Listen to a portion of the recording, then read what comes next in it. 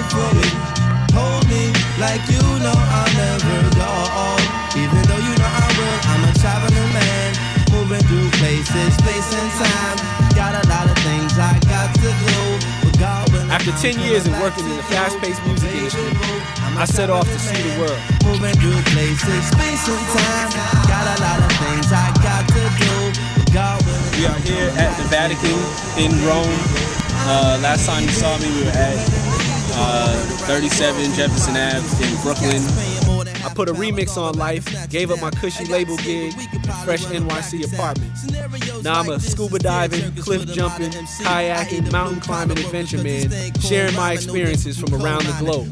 It's the hip hop return globetrotter. You're seeing it like I'm seeing it. Them eyes start shining, you be struggling and striving, and they think you prime time and maintain and keep silent. Make no an observation. It's confrontation. This is the daily operation. My concentration.